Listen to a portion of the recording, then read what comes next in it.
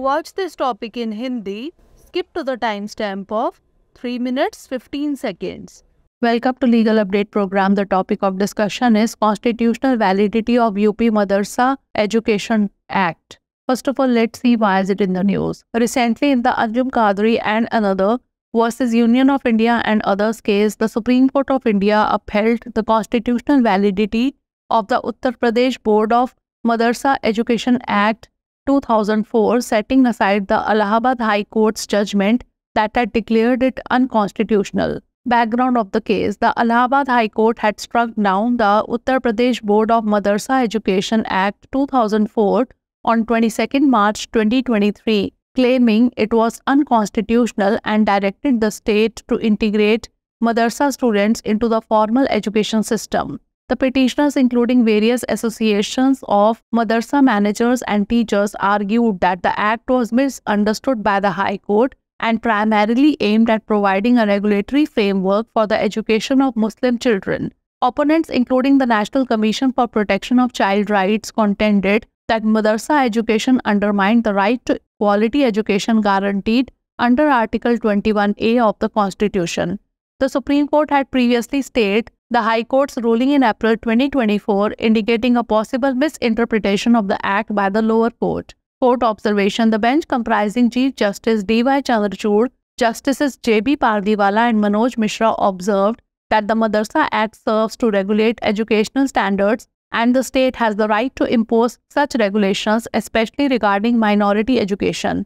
The Act is not a tool for merely imparting religious instructions but aims to enhance the educational framework for Muslim children. The High Court erred in its interpretation that the education provided in madrasas violates Article 25 1A of the Constitution.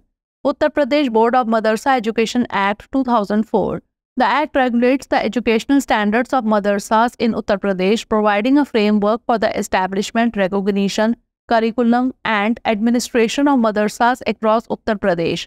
Under this Act, the Uttar Pradesh Board of Madrasa Education was established to oversee and supervise the activities of madrasas in the states. While the Act acknowledges the rights of minorities to manage educational institutions, it also allows the state to regulate these institutions to maintain educational quality. Case Law TMA Pai Foundation versus State of Karnataka 2002 the Supreme Court held that minority educational institutions have the right to administer their affairs, but this right is not absolute and can be regulated by the state to ensure educational standards.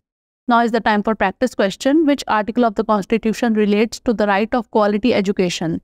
Article 25, Article 21A, Article 30 or Article 19?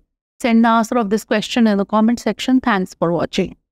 Legal update program में आपका स्वागत है। आज का हमारा चर्चा का विषय है, उत्तर प्रदेश मदरसा शिक्षा अधिनियम की संवैधानिक वैधता।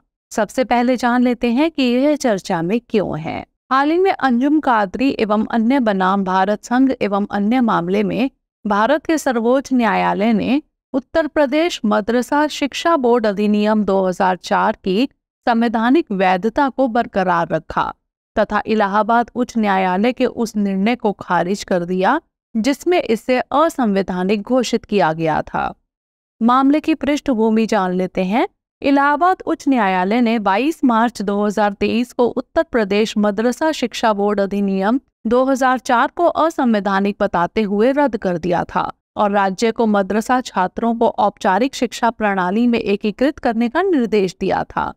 मदरसा प्रबंधकों और शिक्षकों के विभिन्न संघों सहित याचिकाकर्ताओं ने तर्क दिया कि उच्च न्यायालय ने अधिनियम को गलत समझा है और इसका मुख्य उद्देश्य मुस्लिम बच्चों की शिक्षा के लिए नियामक ढांचा प्रदान करना है।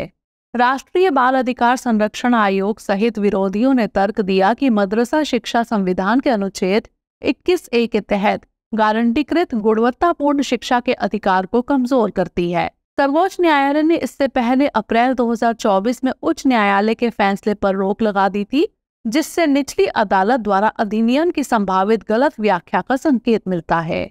न्यायालय की टिप्पणी, मुख्य न्यायाधीश डी वाई चंद्रचूड़, न्यायमूर्ति जे बी पारदीवाला और न्यायमूर्ति मनोज मिश्रा की पीठ ने कहा कि मदरसा अधिनियम शैक्षिक मानकों को विनियमित करने का काम करता है और राज्य को ऐसे नियम लागू करने का अधिकार है, खासकर अल्पसंख्यक शिक्षा के संबंध में। यह अधिनियम केवल धार्मिक शिक्षा प्रदान करने का साधन नहीं है, बल्कि इसका उद्देश्य मुस्लिम बच्चों के लिए शैक्षिक ढांचे को बढ़ाना है। उच्च न्यायालय ने अपनी यह व्याख्या करने में गलती की कि मदरसों में दी जाने वाली शिक्षा संविधान के अनुच्छेद 25 एक ए का उल्लंघन करती है। उत्तर प्रदेश मदरसा शिक्षा बोर्ड अधिनियम 2004 यह अधिनियम उत्तर प्रदेश में मदरसों के शैक्षिक मानकों को भी नियमित करता है तथा पूरे उत्तर प्रदेश में मदरसों की स्थापना, मान्यता, पाठ्यक्रम और प्रशासन के लिए एक रूपरेखा प्रदान करता है।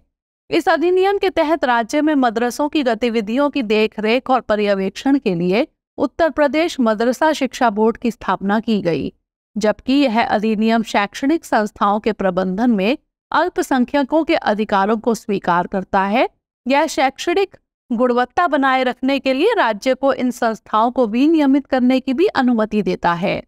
संबंधित केस टीएमए पाई फाउंडेशन बनाम कर्नाटक राज्य 2002 सर्वोच्च न्यायालय ने कहा कि अल्पसंख्यक शैक्षणिक संस्थानों को अपने कार्यों का प्रशासन करने का अधिकार है, लेकिन यह अधिकार पूर्ण नहीं है और शैक्षणिक मानकों को सुनिश्चित करने के लिए राज्य द्वारा इसे विनियमित किया जा सकता है। आइए नोट कर लेते हैं अभ्यास प्रश्न। संविधान का कौन सा अनुच्छेद गुणवत्तापूर्ण शिक्षा के अधिकार से संबंधित है? अनुच्छेद 25, अनुच्छेद 21 ए, अनुच्छेद 30 या फिर अनुच्छेद 19 इसका उत्तर हमें कमेंट सेक्शन में ज़रूर भेजिएगा। धन्यवाद।